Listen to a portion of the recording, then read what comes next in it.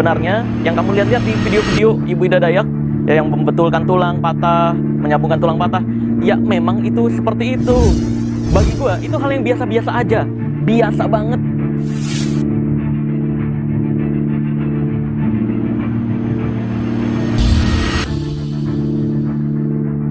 Jadi untuk pesulap merah jangan disamakan Ibu Ida Dayak dengan para terapis tulang lainnya.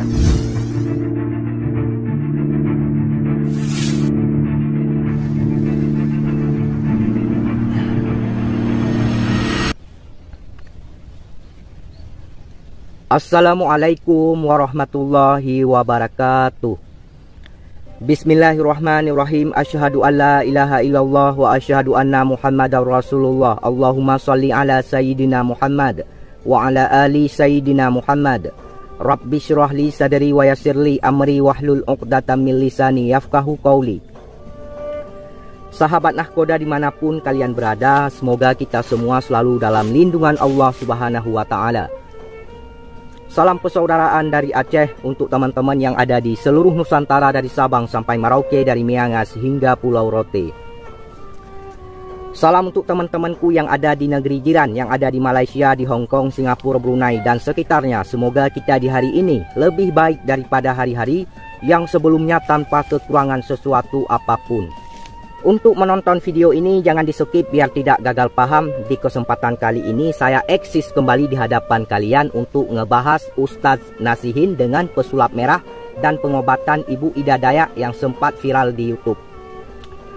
Nah mungkin teman-teman yang baru bergabung di channel yang sederhana ini channel sampah namun bisa didaur ulang mungkin belum kenal ataupun tidak kenal dengan yang namanya Ustadz Nasihin. Saya perkenalkan siapa beliau.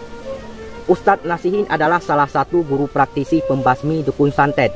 Beliau juga salah satu pemimpin Padepokan Al-Hikmah Kolbun Salim ya. Di konten-konten beliau adalah sering menggerebek ataupun menghajar para preman ataupun begal.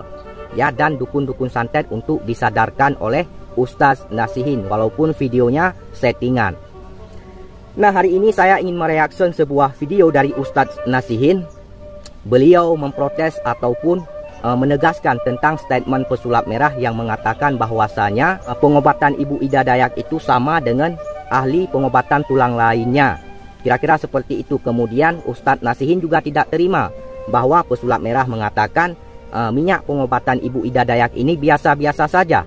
Nah, bagaimana tanggapan Ustadz Nasihin ini terhadap statement pesulap merah? Mari kita bongkar, mari kita bedah videonya. Jangan di skip, pasang mata baik-baik, pasang telinga baik-baik, Ya, ini videonya. Uh, ada seseorang, uh, saya sebut namanya uh, yang sering dijuluki pesulap merah.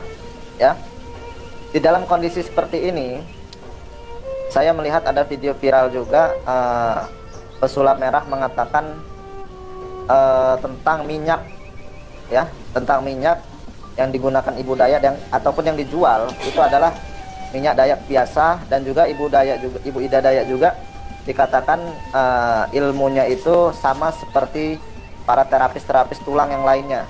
Itu sahabat. Jadi kalau statement yang dikeluarkan si pesulap merah ini ilmu ibu, ibu Ida Daya itu banyak yang memiliki karena memang tidak jauh beda dengan kawannya ataupun temannya mungkin ya yang ahli tulang juga pengobatannya pun sama. Dan juga kalau untuk minyak dayaknya itu pun minyak biasa minyak urut biasa. Itu kalau kata-kata sih pesulap merah. Jadi untuk pesulap merah jangan disamakan Ibu Ida Dayak dengan para terapis tulang lainnya. Kalau menurut pesulap merah Ibu Ida Dayak sama seperti kawan yang Anda bilang itu. Ya.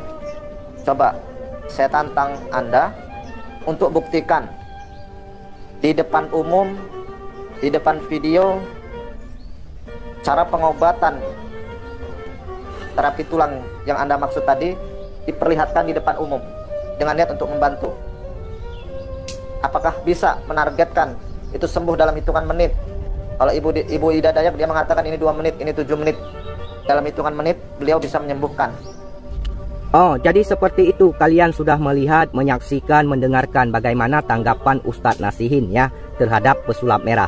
Yang saya tangkap di dalam video tersebut bahwasanya Ustadz Nasihin tidak terima ataupun memprotes ya tentang statement pesulap merah yang mengatakan bahwasanya uh, minyak pengobatan Ibu Ida Dayak ini biasa saja dan pengobatan Ibu Ida Dayak ini uh, keilmuannya itu sama dengan ahli pengobatan tulang lainnya ya. Kira-kira seperti itu. Paham ya? Jadi saudara-saudaraku buat pendukung Ustadz Nasihin ataupun para penggemarnya para fan-fan Ustadz Nasihin jangan marah saya bukan musuh beliau saya tidak membenci beliau. Kita adalah semua saudara. Tidak ada unsur kebencian di dalam hati saya terhadap siapa pun walaupun terhadap orang-orang yang pernah saya bahas.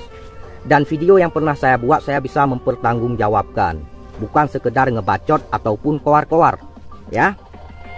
Saya punya prinsip di dalam hidup sesuatu yang tidak saya ketahui saya tidak akan berani untuk membahasnya.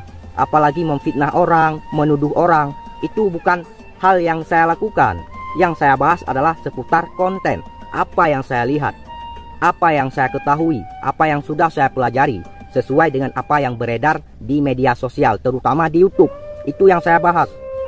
Ya. Dan masalah pengobatan Ibu Ida Dayak ini kemarin saya sudah pernah membahas, ya. Sudah pernah saya bahas kemarin. Yang saya tonton melalui video Ibu Ida Dayak ini dalam pengobatan sebuah hal yang bersifat keikhlasan ataupun ketulusan dalam membantu dan menolong sesama. Dan yang saya kagumi dari Ibu Ida Dayak ini, pengobatan beliau tidak mematok tarif. Paling-paling bayar minyaknya saja 50.000 itu yang saya kagumi. Ya mudah-mudahan kita doakan semoga Ibu Ida Dayak ini diberikan kelancaran kemudahan oleh Allah Subhanahu wa taala dalam menolong ataupun membantu sesama. Dan ingat saya bukan orang iri bukan orang dengki apalagi jumawa. Ya saya nahkoda dari Aceh. Saya WNI saya beragama muslim. Saya sangat menjunjung tinggi kebenaran dan keadilan. Ya. Jadi seperti itu. Paham ya? Nah, jadi buat pendukung Ibu Ida Dayak, buat pendukung pesulap merah ini bukan pengiringan opini, ya, bukan pengiringan opini. Karena di YouTube sekarang banyak sekali orang-orang yang membuat cerita bohong, cerita hoak, ya kan, konten-konten hoak, terutama konten pesulap merah dengan Ibu Ida Dayak. Videonya dicomot-comot, dipotong-potong, kemudian dikirim ke sebuah narasi yang tidak benar, yang tidak sesuai dengan fakta, ya. Dan kemarin itu yang dibahas oleh pesulap merah dalam kontennya ya. Channel-channel sampah yang mengarang-arang cerita bohong yang membuat cerita hoak ya. Makanya kalian harus blokir channel-channel sampah yang membuat cerita bohong supaya kalian tidak menelan ataupun memakan hal yang bersifat negatif hal yang bersifat tidak benar hoak.